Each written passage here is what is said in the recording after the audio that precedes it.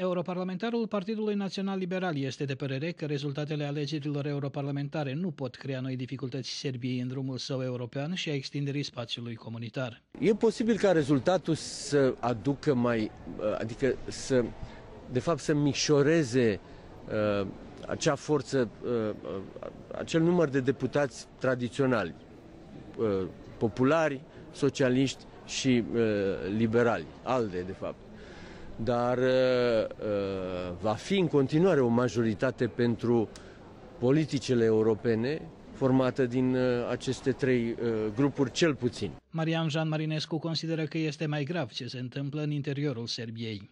Serbia trebuie să se gândească nu numai la Kosovo, ci ce face cu sistemul de justiție, ce face cu uh, economia, ce face cu uh, situația minorităților ca să poată să aibă o aderare uh, de succes.